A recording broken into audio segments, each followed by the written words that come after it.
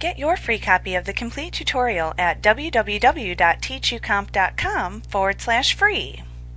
You can select the Blur tool, which is on the same location on the Tools palette as the Smudge tool, to soften hard edges or reduce fine detail in an image. Now, contrary to that, the Sharpen tool increases edge clarity and detail visibility in your image. So to use these tools, you select the one that you want from the Tools palette, and they're located right over here. And let's look, for example, at the Blur tool. We'll give that a click. Then we set our desired options up in the options bar, of course. We can select our brush. We'll choose a larger diameter here and we'll soften the edges of this flower as an example.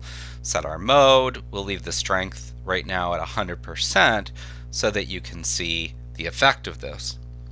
Then, after you've set your desired options, all you need to do to use this is just click and drag into the image.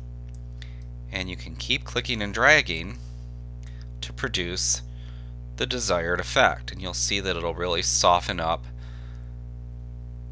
those edges of the flower, just like that.